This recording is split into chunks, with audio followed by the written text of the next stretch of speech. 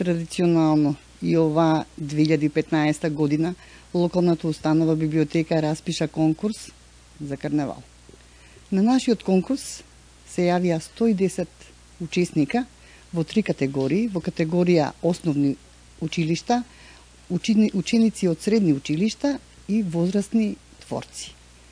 Прекрасен беше моментот, дента кога требаше да почнат да се читаат творбите и кога комисијата во состав Тања Гошева, Аница Глигорова Милева и Васка Кирова констатираа дека се пристигнати над 110 творби. Сепак, значи, нашите творци доставија прекрасни творби и на голема тешка задача имавме да се одлучиме и за тоа наградивме. Пет први награди, четири втори награди во категоријата основни училишта и четири трети награди. Во категоријата средношколци исто дадовме повеќе награди, од таа причина денеска ќе ги слушнеме и сите наградени творци.